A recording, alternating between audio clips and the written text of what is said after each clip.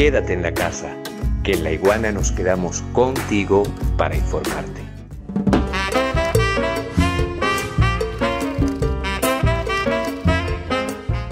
Bueno, ¿cuáles fueron los resultados institucionales para la institucionalidad de Honduras después de este golpe de Estado del 2009? Eh, eh, ¿Cuál fue el resultado en términos sociales? Términos sociales, socioeconómico para el pueblo de Honduras. Por aquí nos dice Diógenes desde YouTube. Con Celaya, Honduras, estoy citando textualmente, tenía un crecimiento económico sostenido con inclusión social desde el golpe, Honduras es un estado fallido donde reina el crimen organizado e impera la pobreza. Vamos a tomar estas palabras de eh, nuestro querido Diógenes para profundizar en el tema. La debacle institucional, señoras y señores, la debacle social, amigos y amigas, fue el pan de cada día del pueblo hondureño después del golpe de Estado. Resulta que la realización de comicios presidenciales, tras el breve gobierno de facto de Micheletti o Micheletti, no supuso una rehabilitación de las instituciones de Honduras, todo lo contrario. En su lugar se dio un deterioro, una represión continua, un deterioro del, estado de, bienestar y una represión continua en términos fácticos, bajo la mirada, hay que decirlo, complaciente de los Estados Unidos. De hecho, otro actor fundamental en esta historia, estoy hablando yo de Porfirio Lobo, ofreció condiciones para el regreso de Zelaya a Honduras tras dos años de exilio y restituyó sus derechos políticos, aunque logró arrogarse el mérito de la consulta constitucional que en realidad había impulsado el depuesto mandatario y precisamente por eso fue que lo, eh, que lo depusieron. Así, el Congreso de la República, que en 2009 boicoteó abiertamente la consulta popular para modificar la Constitución, resulta que, oído al tambor, apenas dos años después votaba precisamente lo opuesto al tiempo que el gobernante reivindicaba la iniciativa como una demostración de democracia y los movimientos sociales denunciaban precisamente lo contrario, denunciaban el carácter antipopular de su gestión.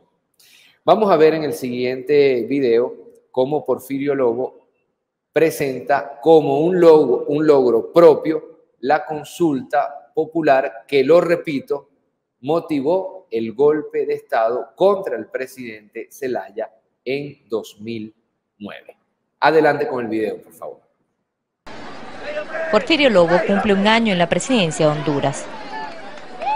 Un tiempo donde se debatió entre un país herido por el golpe de Estado y los que veían en él al unificador de la nación. Paradójicamente, la consulta popular resulta ser uno de sus logros, al haber conseguido que el Congreso, con mayoría del partido de gobierno, modificara el artículo 5 de la Constitución, que permite el referéndum incluso para los prohibidos. Al hacer los cambios necesarios para que los ciudadanos tengamos una democracia no solamente representativa, sino por abrir los canales de participación a lo que es la democracia participativa, el derecho del pueblo a participar, el derecho a los que nunca han sido escuchados a ser escuchados y ejercer. Pero estos mismos que hoy aplauden fueron los que acompañaron aquel golpe de Estado. Lo que fue malo antes con Celaya, ahora resulta bueno con Lobo. Que todo lo que estaba haciendo era fuera del contexto legal, pero ahora lo vemos que lo están haciendo dentro del contexto legal. Esa precisión condujo a una represión sin historia en Honduras, imágenes que no se podrán borrar, que para muchos, más que nunca, no tuvieron justificación. Esto se comprueba cuando el actual Congreso de la República aprueba eh, el referéndum y el plebiscito de manera amplia y sin restricciones, que era el equivalente a la cuarta urna, consultarle al pueblo, por lo que se hace más que necesario que esos que cometieron ese delito de lesa humanidad sean castigados con todo el peso de la ley. El peso de la ley que también exigen los movimientos populares que aún sienten la sombra de la represión e impunidad y a un gobierno a espaldas del pueblo que ahora habla de consulta popular.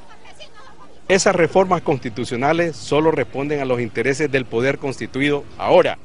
Para estos sectores populares representados en el Frente Nacional de Resistencia, la democracia no parte por el cambio de un artículo a la Constitución que permite la consulta popular que originó en el año 2009 el golpe de Estado, sino por la refundación del país a través de una Asamblea Nacional Constituyente donde participen todos los sectores históricamente excluidos. Ahí tienen precisamente a nuestra querida amiga Madeleine García que estamos esperando. Estamos esperando, está saliendo de, de clases. Ahora, a Lobo, a Lobo, vamos a seguir nosotros en esta reconstrucción histórica para entender qué está pasando en Honduras hoy día y para entender los resultados electorales de las elecciones del pasado domingo. Bueno, resulta que a Lobo le siguió en la primera magistratura el abanderado del derechista Partido Nacional de Honduras, estoy hablando yo de Juan Orlando Hernández, que ejerció como presidente del Congreso de Honduras entre 2010 y 2013. Cuando ya había conseguido su postulación como candidato presidencial, Hernández mostró el talante antidemocrático que habría de caracterizar sus dos mandatos y promovió, escúchese bien esto, la destitución de cuatro magistrados de la Corte Suprema de Justicia de Honduras. De hecho, en 2013 fue declarado vencedor de la contienda eh, presidencial, la que tuvo como principal contendora precisamente a Xiomara Castro de Celaya, en medio de acusaciones de fraude electoral que salpicaron directamente las autoridades del Tribunal Supremo Electoral. En su primer discurso como presidente fue parco y ofreció vagamente enfocarse en mejorar las condiciones de vida de los hondureños, pero rápidamente su gobierno fue presa de protestas populares por diversos factores, entre ellos el incremento, hay que decirlo, desmedido de la violencia asociada al crimen organizado. A partir de entonces, el crimen organizado se hizo del territorio hondureño y es una de las deudas pendientes que la virtual presidenta electa, la primera en la historia de Honduras, tendrá que placar. Vamos con el siguiente video explicativo. Adelante.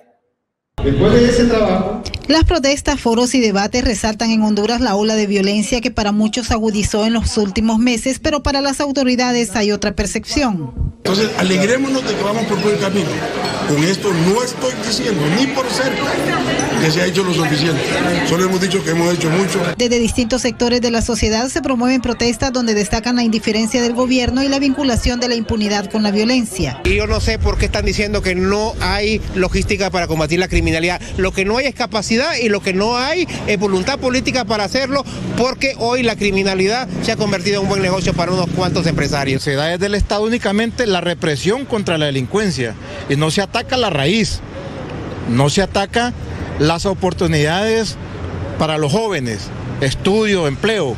Aquí no hay empleo para nadie. Según autoridades del Observatorio de la Violencia, la criminalidad aumentó gradualmente en los últimos años hasta llegar a cifras alarmantes. Y en la investigación que se está presentando, eh, un análisis de los últimos, del último periodo de gobierno, que son un promedio de 27 mil homicidios en, un país eh, tan pobre, tan pequeño, con tan poca población, que hace que se evidencie que estamos en un estado de zozobra y guerra. Al momento de asumir su mandato, el actual gobernante llamó un diálogo nacional a todos los sectores. Sin embargo, hasta el momento no se concretó la intención. No se puede eh, seguir trabajando de manera eh, descoordinada. O sea, se tiene que hacer una planificación de todo el sistema. O sea, aquí es el poder, el poder ejecutivo con la policía y sus otros órganos, eh, desde el Congreso, el Poder Judicial, el Ministerio Público. Hay que trabajar de manera coordinada. Se habla a veces de alguna coordinación, pero no siempre llega la coordinación eh, a las comunidades. Desde el año 2004 se registran en Honduras 47 mil asesinatos según el Observatorio de la Violencia, con el 50% en los últimos cinco años.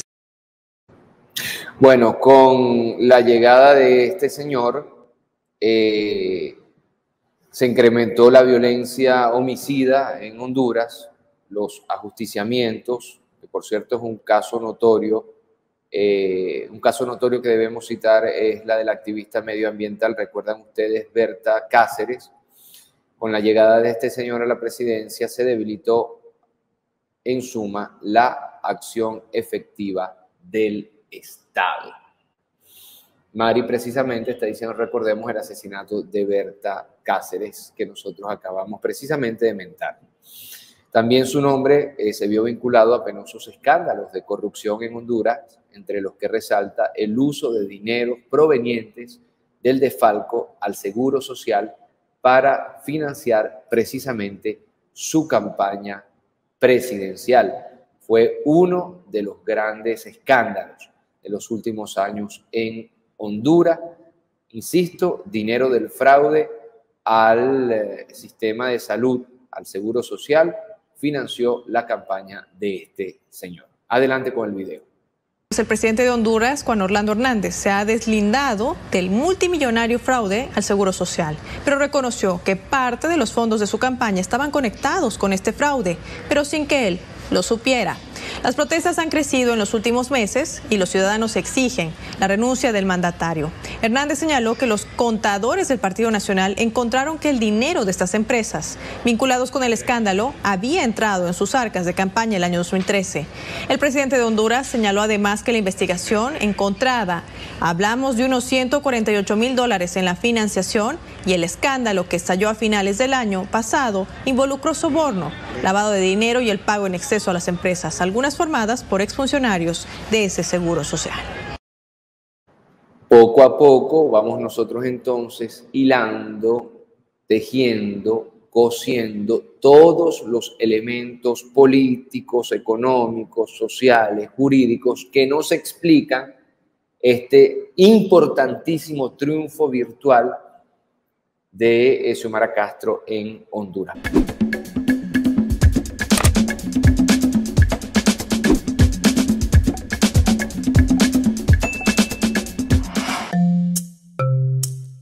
Laiguana.tv. La verdad hecha tendencia.